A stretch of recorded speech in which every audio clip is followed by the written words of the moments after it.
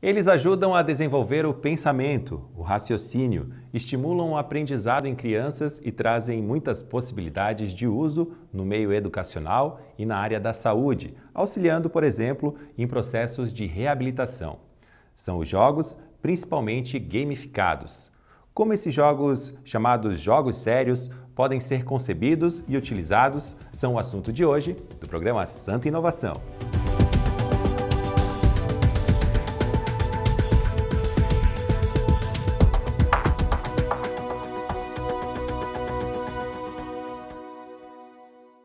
Estimular o pensamento computacional em crianças, dar visibilidade às mulheres na ciência, ajudar pessoas com dependência química são muitas as possibilidades quando falamos em ludificação em jogos gamificados educacionais.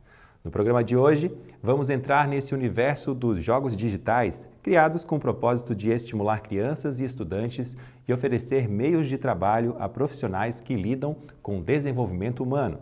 E para falar sobre esse trabalho, estão com a gente aqui de maneira remota a Isabela Gasparini, ela que é doutora em Ciência da Computação, professora do Departamento de Ciência da Computação na UDESC, nos programas de pós-graduação em Computação Aplicada e Ensino de Ciências, Matemática e Tecnologia. Ela também é conselheira da Sociedade Brasileira de Computação, além de ter diversas publicações aí no meio também. Professora Isabela Gasparini, seja muito bem-vinda ao programa Santa Inovação. Muito obrigada, Felipe.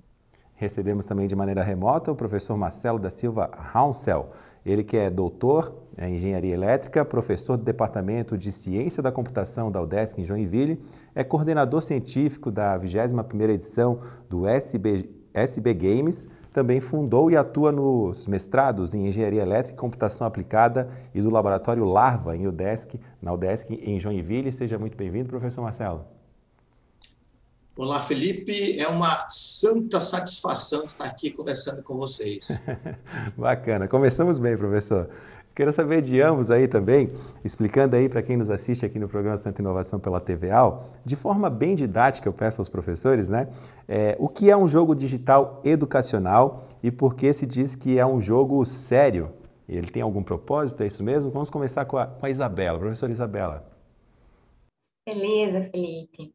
Então, um jogo educacional é quando ele tem um propósito além do divertimento, né? Então, ele vai além. Ele tem um propósito do engajamento escolar, do processo de ensino-aprendizagem, é, do, dos processos né, para ajudar tanto estudantes quanto professores em todo esse ambiente escolar. Então, a gente fala, né, um jogo educacional, um jogo digital educacional, quando ele tem um propósito além da diversão, quando ele ensina alguma coisa, ele faz com que as pessoas realmente aprendam novos conhecimentos, né?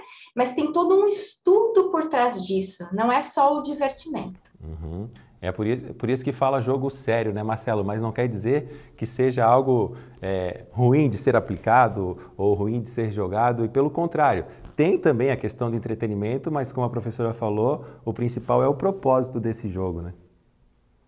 Isso, a, grande diferença é essa, né? Que tem um propósito sério, mas é um jogo, todo jogo ele tem a diversão como parte do seu da, da sua construção. Né? Então, todo jogo é divertido, mas quando ele tem um propósito que vai além da diversão, aí ele passa a ser sério. Então, dentre os jogos sérios, nós temos os educacionais, que aí está dentro do contexto da sala de aula, e temos os jogos sérios também para da, da saúde, por exemplo, com reabilitação. Então, veja, tem um outro propósito além da diversão. Essa é a grande diferença que a gente pode dizer dos jogos sérios. Às vezes, eles são criados para mudar comportamentos, não para aprender algum conteúdo, mas mudar comportamentos. Então, é, tem essa diversidade de propósitos sérios. Uhum. E professor, a gente fala em jogos, a gente logo pensa no mundo digital, mas a gente também tem os jogos físicos, né? E a questão de faixa etária também. Ah, falou em jogo, falou em game, a gente pensa sempre nos adolescentes ou crianças mas é para todas as idades e dependendo aí da necessidade da utilização de cada jogo que é desenvolvido. Né?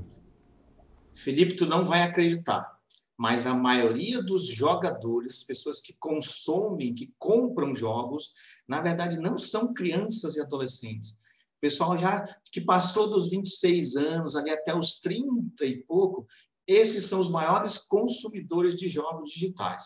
E, claro, como você falou, nós temos os jogos analógicos. A professora Isabela, por exemplo, é, desenvolveu, junto com os estudantes dela, um jogo físico, um jogo analógico muito interessante sobre a história das mulheres na ciência. Uhum, bacana, professora. Então, já aproveitar que o, que o seu colega, o professor Marcelo, citou, né?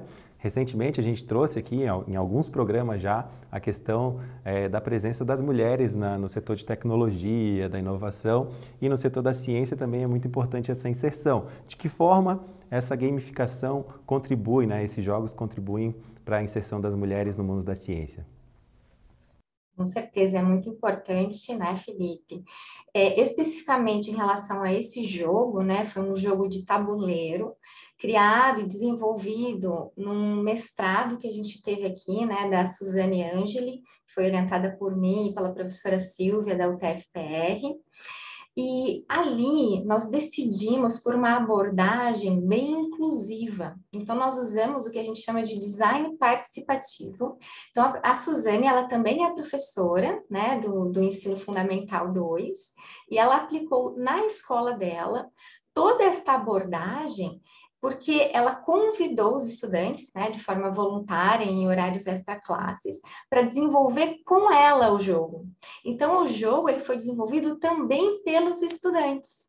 Então, todo o processo de busca das mulheres, desse reconhecimento, esse levantamento né, é, histórico, então, da antiguidade, contemporâneo, a gente é, quis ser bastante é, equilibrado, levantar também nomes de mulheres fizeram parte da história, tanto internacionalmente quanto nacionalmente, de diversas culturas, é, e de, por diversos feitos, né, em diversas áreas da ciência, né, seja da história, da matemática, é, da biologia, da, da física, da química, enfim, das diversas áreas da ciência. Então, todo esse levantamento, ele durou diversos meses, né, é, e foi no momento da pandemia, então teve também que ser remodelado para ser diversos encontros online, mas foi muito produtivo. Se levantou diversos nomes e a gente percebeu, né, que como eles estavam inseridos é, junto nesse desenvolvimento, eles estavam co-criando o jogo, então a, as pessoas envolvidas, né, os estudantes, desenvolveram as cartas junto com a professora Suzane, fizeram todo o design, é, eles se engajaram tanto, foi muito bonito esse processo. E depois eles puderam jogar e jogar com outros colegas da uhum. escola também. Inclusive, foi a gente está acompanhando agora, professor, imagens desse jogo de tabuleiro, né? E muito mais de como eu citei na pergunta da inserção, tem a questão do resgate e valorização dessas mulheres, que é muito importante também, né, professora? Com certeza. Nós fizemos um pequeno levantamento antes de começar todo esse processo e os estudantes não conheciam nomes. A gente perguntou assim: quais são os cientistas que vocês conhecem? E quase ninguém, nenhum dos estudantes falaram nomes é, de mulheres.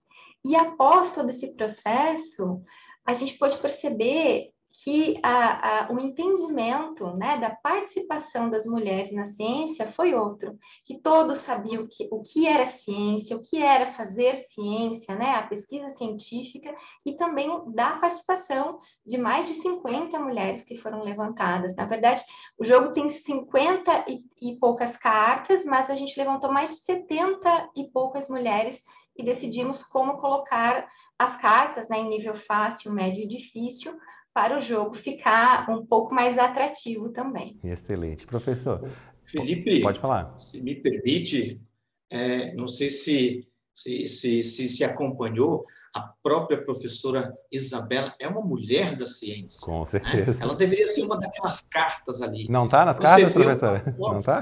De, deveria, deveria estar tá nas cartas lá, né? Não só pela projeção nacional que tem, mas porque realmente é uma mulher que faz ciência. E olha só, Nesse processo que ela mostrou da criação desse jogo, que é um jogo sério, nós tivemos ali, a professora estava falando, eu não participei do processo, mas eu estou reforçando o que ela está apresentando, toda uma preocupação em fazer o projeto do jogo, de levantar essas informações, de testar para saber se realmente funciona, se realmente trouxe uma agregação de conhecimento para as pessoas. Isso é um jogo sério. Isso é um jogo que traz resultado porque teve um objetivo muito específico.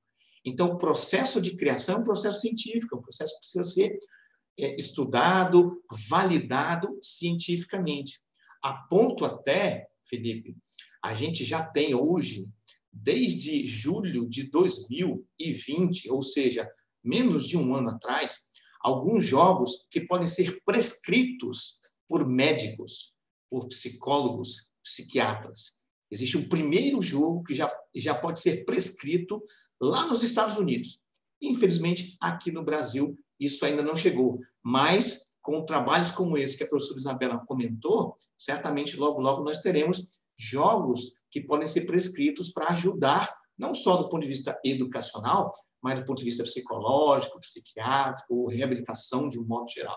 É nesse sentido que a ciência está fazendo diferença nesse contexto que é muito comum, que é o dos jogos. E como é que surge um jogo voltado não só para essa área da, da saúde, né? É, ou para a área de, de, reabilitação, enfim, como é que é? Através de uma demanda, através de uma pesquisa, né? É, desse desenvolvedor, você falou aí da, da, da, questão dos Estados Unidos dele ser prescrito, mas isso surgiu de repente de uma demanda lá na área hospitalar e foram buscar um profissional. Qual que é o caminho e como é que chega até o fim da, na, na fase de testes para colocar em prática? Eu posso falar de que aqui na UDESC a gente teve as duas experiências. Nós tivemos é, propostas de jogos que vieram dos estudantes, né, tanto os nossos estudantes de graduação quanto de mestrado, eles com uma ideia, olha, eu queria fazer alguma coisa nesse sentido e tal, e a gente, opa, é jogo sério, a gente consegue transformar isso com um propósito bem específico, e a gente continua e vai e desenvolve o trabalho. Mas também já tivemos pessoas que vieram de clínicas, escolas, olha, queria trabalhar um determinado tema de uma maneira um pouco mais lúdica, mais palatável, menos desgastante. Opa, então aí nós podemos também transformar essa ideia num jogo e aí passa a ser um jogo sério. A gente cria, tem que estudar e aí neste processo tem todo um levantamento, como que a professora Isabela comentou, de conversar com as pessoas, de estudar o tema, de levantar o que existe de mais novo para aquele tema. Então vem demandas de ambos os lados, as duas formas acontecem frequentemente. E professora Isabela, com relação a como Santa Catarina está inserida nesse mercado aí da criação de jogos sérios no cenário nacional e mundial. Estamos em destaque aí, professora? Olha, eu, eu acredito que sim, nós estamos em destaque, tanto para o desenvolvimento de jogos, quanto para os processos de aplicações gamificadas, né? Então, é, nosso departamento, né, tanto o professor Marcelo quanto eu, temos diversas inserções na comunidade nacional e internacional. O professor Marcelo agora está né, tá coordenando o maior simpósio brasileiro de jogos digitais. Então, isso é uma honra para a gente aqui em Santa Catarina, né, termos é, o coordenador geral deste ano aqui conosco.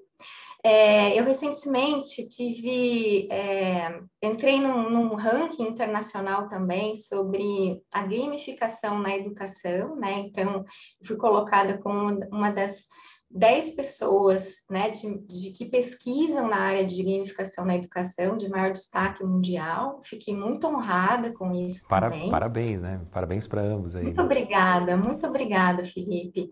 A gente, na verdade, trabalha não é para isso, né? A gente trabalha porque a gente quer realmente uh, que a educação do nosso país melhore cada vez mais, que a gente tenha processos mais inclusivos, que a gente é, possa fazer com que o processo de ensino-aprendizagem ele seja mais dinâmico, que ele seja mais interativo, né? E que as crianças e os jovens tenham mais vontade de estudar e trabalhar nos temas mas é claro que a gente fica muito feliz com esses reconhecimentos também.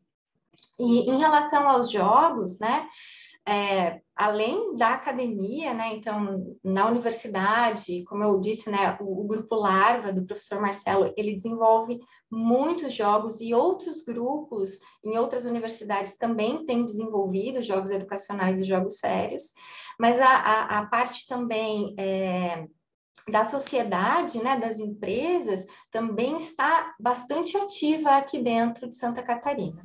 Perfeito.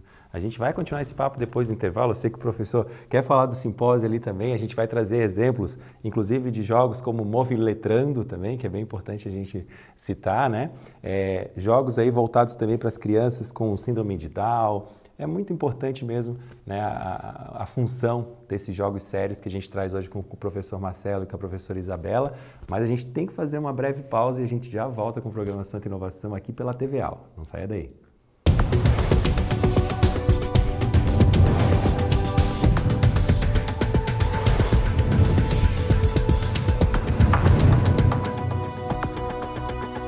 Voltamos com o programa Santa Inovação aqui pela TVA, recebendo o professor Marcelo, a professora Isabela. Hoje a gente está falando aí dos jogos para educação e saúde. Professor, a Isabela falou ali no bloco anterior, sua colega, a respeito do simpósio aqui, né? É um dos coordenadores aí desse simpósio. Conta para a gente um pouquinho mais desse trabalho. Obrigado, Felipe. Tem que falar, né? SP Games, SP Games é o simpósio brasileiro de jogos e entretenimento digitais ele, ele é o maior evento que tem na área de jogos da América Latina. Né? Então, em média, nós temos mil pessoas participando só nas atividades científicas. É um dos maiores eventos da Sociedade Brasileira de Computação. Isso mostra, Felipe, o quanto a pesquisa, o desenvolvimento e a indústria de jogos no país, no Brasil, ela é muito significativa, ela é muito grande. E o contexto científico tem dado suporte para inovações. Né? Por isso que santa inovação está é, indo para todos os lugares. O evento vai acontecer em Natal, no Rio Grande do Norte. Eu estou fazendo a coordenação científica desse evento e ele é um evento cheio de atividades. Existem, obviamente, as questões científicas, então, várias trilhas com vários artigos científicos sendo apresentados, mas existe também festival de jogos, festival de arte, jogos desenvolvidos pelos alunos de graduação, pelos alunos de mestrado. Então, existe uma, uma, uma, uma proliferação muito grande de ideias durante esses quatro dias que vão acontecer lá em outubro, mas a gente já está começando a fazer a organização desse evento já a partir desse mês. E a gente já deixa aí o convite para todo mundo. Ele vai ser presencial, um bom motivo para viajar para Rio Grande do Norte, né? conhecer ali a cidade de Natal, todos estão convidados. Algumas atividades nós faremos é, de maneira remota, mas o evento está voltando ao formato presencial. Tá bom? Vamos trazer mais alguns exemplos, começando com a professora Isabela. Então, a gente falou no bloco anterior do jogo de tabuleiro, inclusive vimos imagens aí da Mulheres na Ciência, né? É, mas trazendo aí para os aplicativos ou digitais, temos alguns exemplos aí? Depois eu pego alguns exemplos do professor também. Temos sim, Felipe. É, eu trouxe para apresentar hoje para vocês um jogo que foi desenvolvido também por diversos estudantes, então uma mestranda, é, que é a Tainara, alunos de TCC, que foi o André e o Daniel, junto em orientação também, né, com o professor Eleandro Masco, da UTFPR. E nesse grupo, nós desenvolvemos o jogo chamado Pensar e Lavar. Esse jogo é um jogo voltado para crianças, tanto neurotípicas quanto crianças que têm é, com deficiência intelectual. Foi um jogo que foi é, todo auxiliado né, para a gente fazer entendimento do problema, das necessidades reais é, por professores, então, professores de atendimento especializado, professores de matemática, é, terapeuta ocupacional, responsáveis por crianças com DI também. É, e ali nós criamos um jogo que faz uh, coisas cotidianas do dia a dia, mas que está embutido o processo de ensino do pensamento computacional. Então, é um jogo que, que você joga e a criança brincando aprende a separar roupa, a lavar roupa, a guardar a roupa, mas por dentro do jogo tem diversos processos matemáticos, então de raciocínio, de decomposição, de ordenação.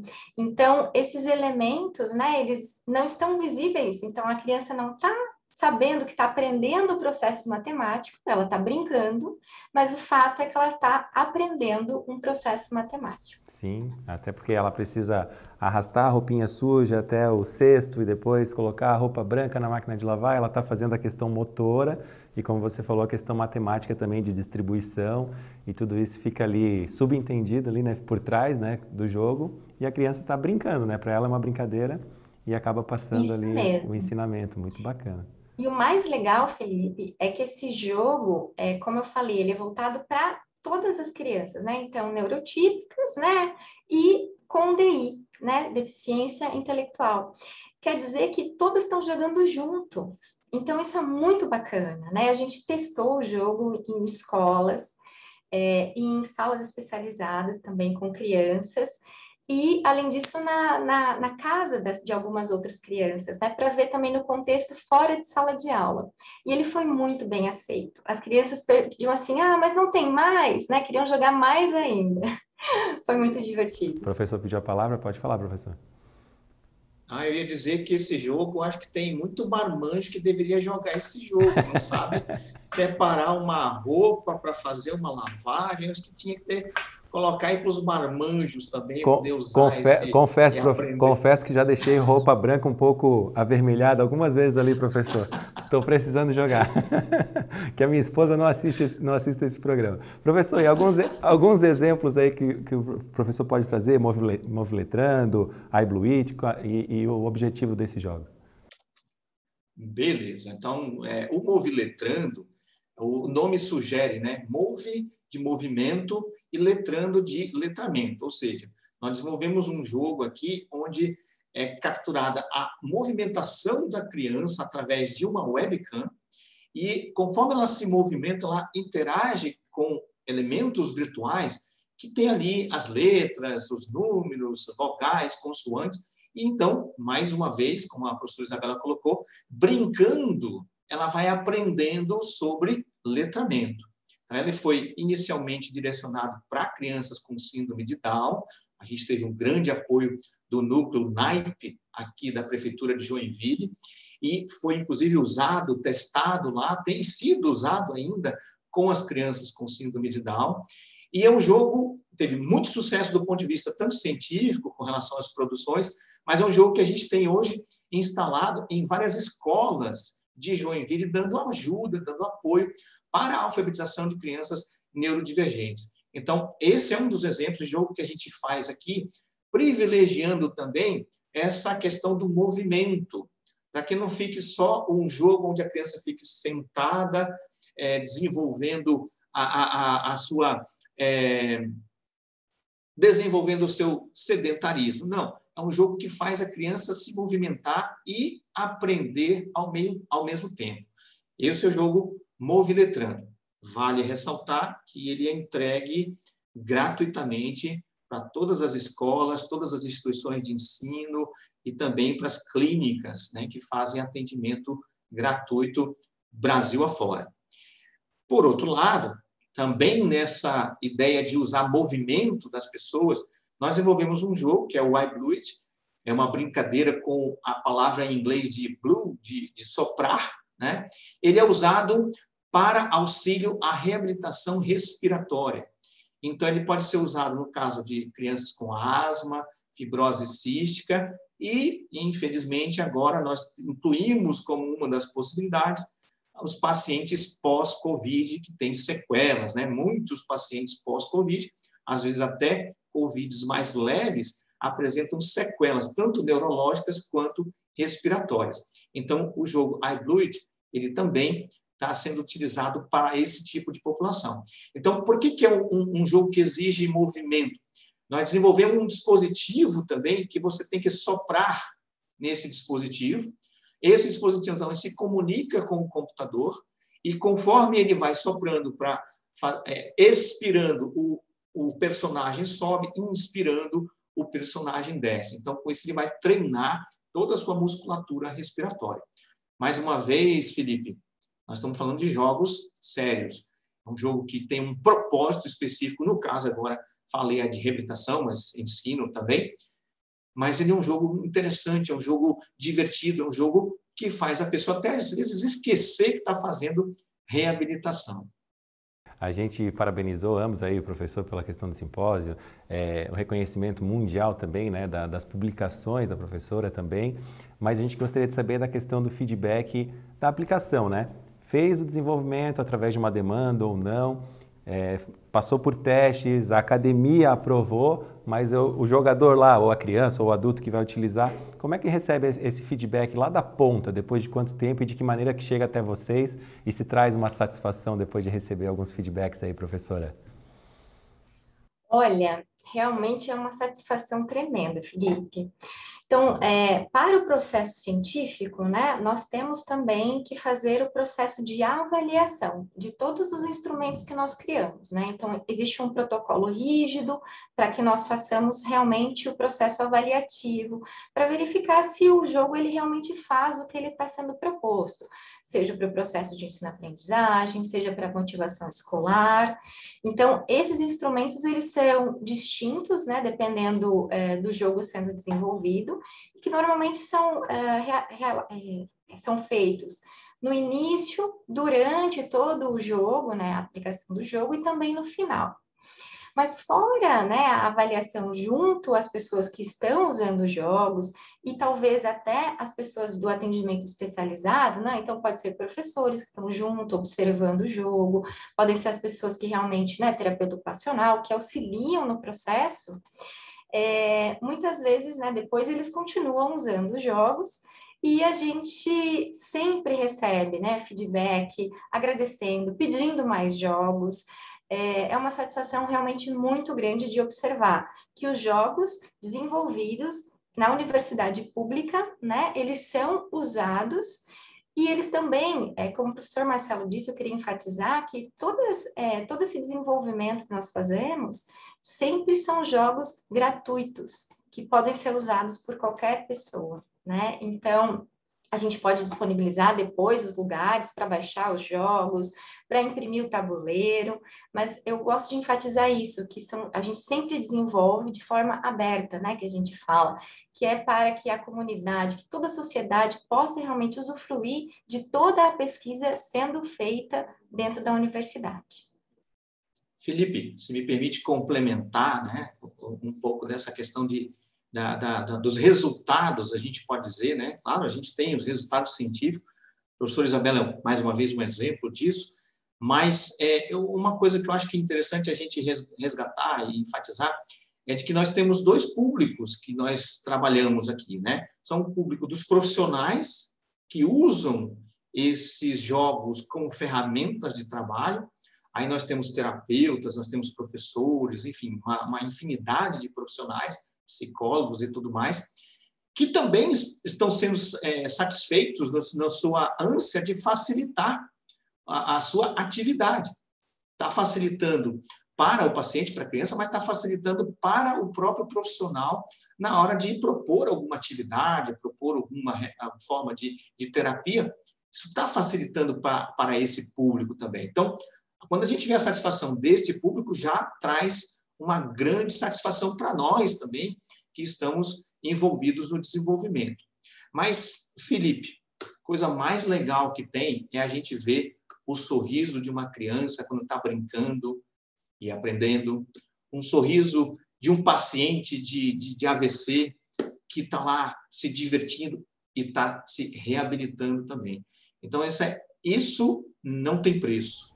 Realmente não tem preço. Paga todas as, tá... as noites de sono mal dormidas.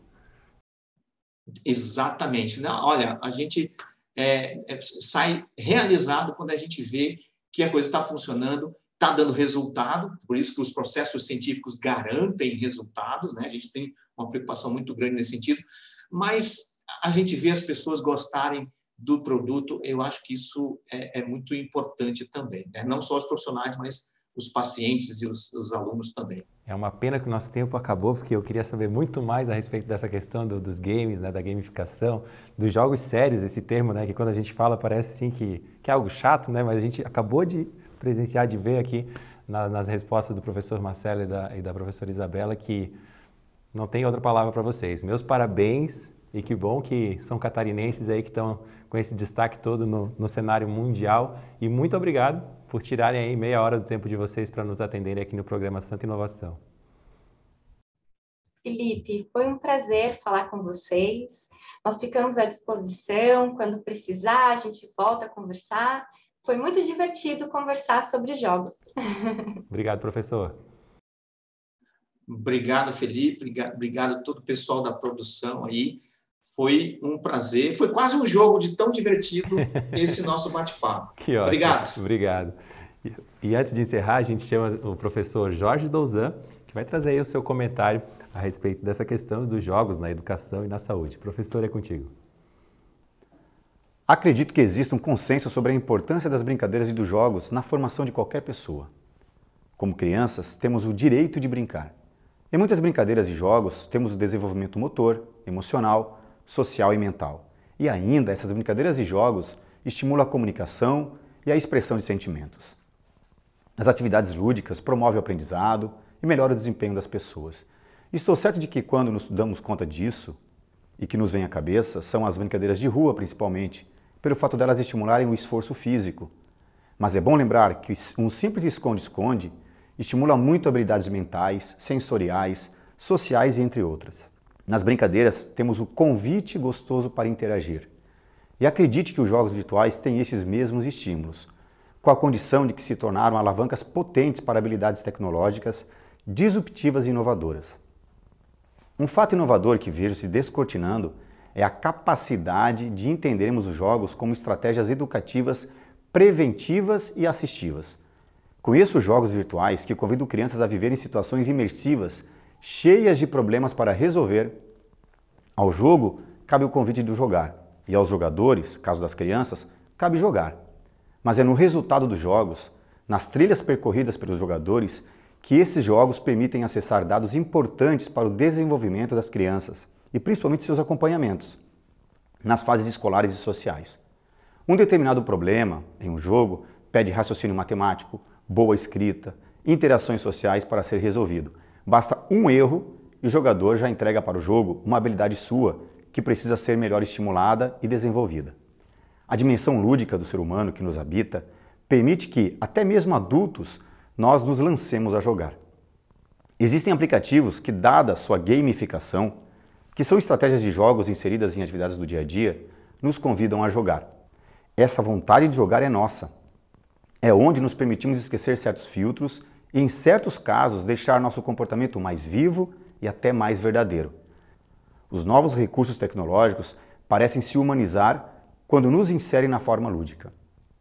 Nossa vontade de jogar, a importância de que damos ao brincar, são gatilhos prontos para o desenvolvimento estratégico e tático de novos serviços. O que você vem jogando todos os dias? O quão competitivo você é? Te posicione nesse jogo e entenda que nessa gamificação todos ganham. Obrigado, professor Jorge Douzan, e agradeço a você também que nos acompanhou aqui por mais um programa Santa Inovação. Esperamos por você. Até o próximo programa. Tchau, tchau.